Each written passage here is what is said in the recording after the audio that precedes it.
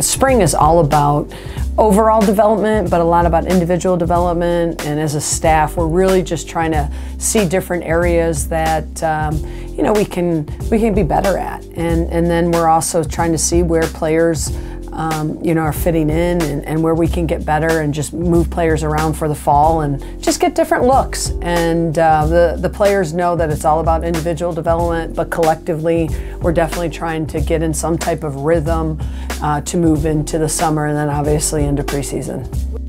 Fall sports, uh, you know, we definitely have that ownership piece, and they really have to own